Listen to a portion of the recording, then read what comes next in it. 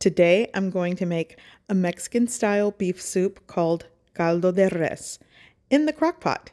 This is going to be easy and so good. Okay, so today I'm making beef caldo or caldo de res, which is a Mexican style beef soup. My local grocery store has these kind of like pre-prepped packs for beef soup or stew, and that's what I'm using. This is somewhere between a pound and a half to two pounds of probably beef chuck roast or stew meat. This is just a combination of uh, pieces of fresh ears of corn that are chopped up, carrot, cabbage, celery, and a couple of red potatoes. I have some extra potatoes I'm going to toss into the crock pot. And here I have fresh onion, garlic, one bay leaf, extra carrot. I also purchased a, a small head of cabbage because I like extra cabbage in, in my uh, caldo. Um, this is somewhere between three and a half to four cups of beef broth. You could also use water mixed with some beef bouillon powder to taste. Either way, I'm gonna try to make it simple, but super good, and it's going in the crock pot. Okay, so I'm working with a six quart crock pot. I'm gonna start with my beef. And I'm gonna season with granulated onion powder. Try not to make a mess granulated garlic powder. Gonna go for like a mm, teaspoon of salt, half teaspoon of cracked black pepper.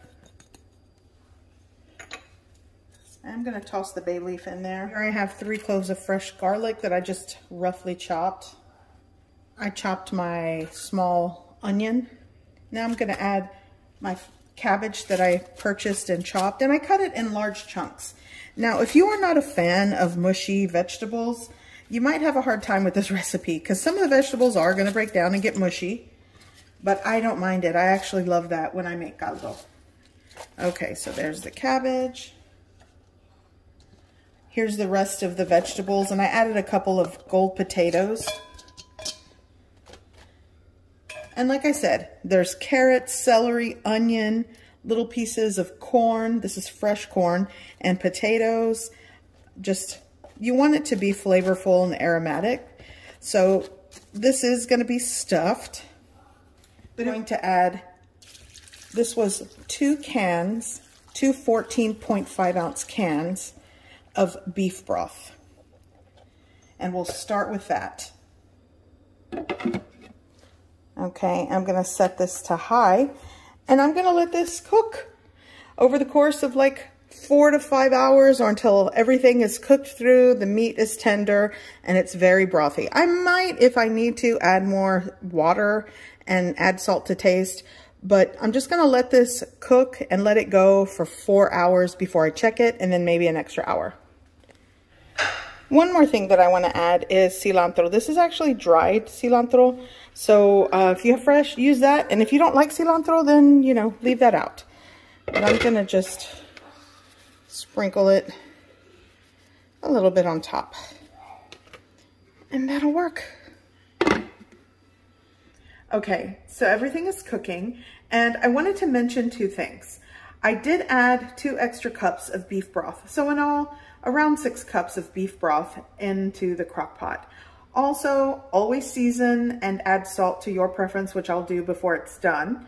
And another thing, I, did say this earlier, if you don't prefer mushy veggies, then maybe you could stagger the time that you put them in the crock pot.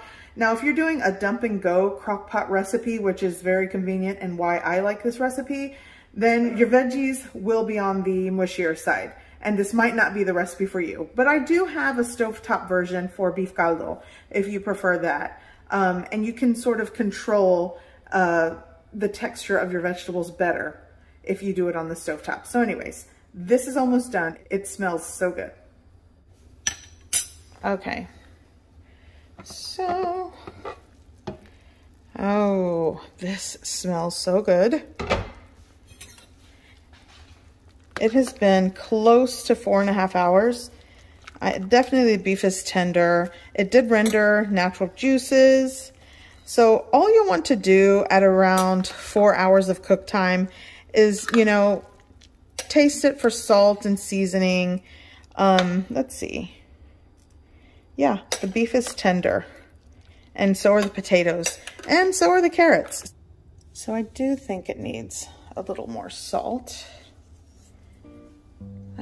But like I said, you'll want to taste everything. Give that a mix. And then serve a bowl.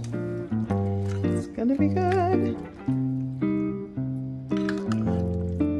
I hope you give this recipe a try. I hope you like it. And thanks for watching.